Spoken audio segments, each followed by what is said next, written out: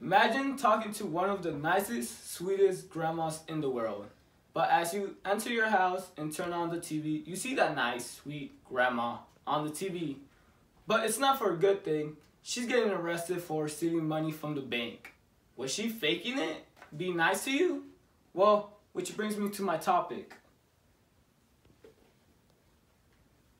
My main points are why do people fake fake it?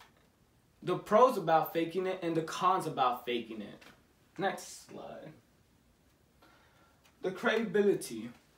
So in high school, I used to talk to a lot of people. Some friends were nice, some other weren't so nice. But this one girl, we used to talk every single day. We used to hang out every day. But once she got what she needed, she barely talked to me. She barely hanged out with me. She showed me her true colors. Which brings me next to my next slide. Why do people fake it? Well, some people do it because they're not happy with their life. They don't like how it's going, so they fake being other people. They also fake it because they want other people to like them. They want that popularity status. They want everybody to like them. And some people go to the extreme of catfishing people. They're not happy how they look. So instead, they pretend to be other people instead of themselves. So, to my next slide, you might be wondering, what's the benefits of faking it? Well, the benefits are people will like you because you'll be having all, well, you'll be pretending to have all these amazing new stuff and you probably get out of doing stuff. Some people even go to the extreme of being handicapped so just to get closer to the store. And being not yourself is not bad sometimes. For for example, for a job interview, you don't want to be your normal self. You want to be more professional. You want to put cologne on. You want to do everything to impress that boss of yours. You want to make sure you get the job. So, what's the negative about faking it? The negative parts about faking it, it brings you stress. You have to remember things that you said before. You have to remember the people. You gotta remember a lot of stuff. According to academic of major religion journal, when it comes to your happiness, faking it can actually make you more miserable. It can ruin your you money wise. You have to rent cars you have to buy the new stuff, which you can't afford. So you're to be in debt for many years. And the effects of losing all your friends. Those close friends that's with you since the beginning, they're not to be there for long if your ego changes or becomes bigger. They want the old you. I have two videos to show you.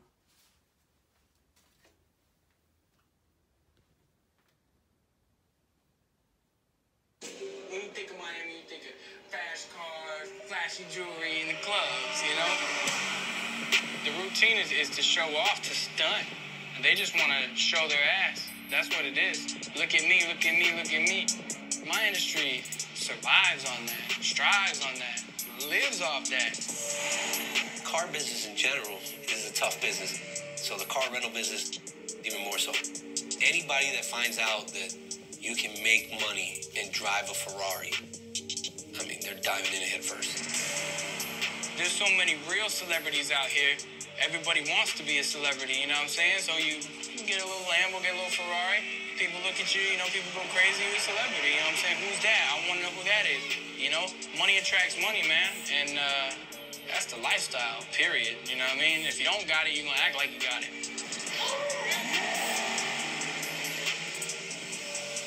The game is finesse. Everybody in this room has lied one time in their life. I just want to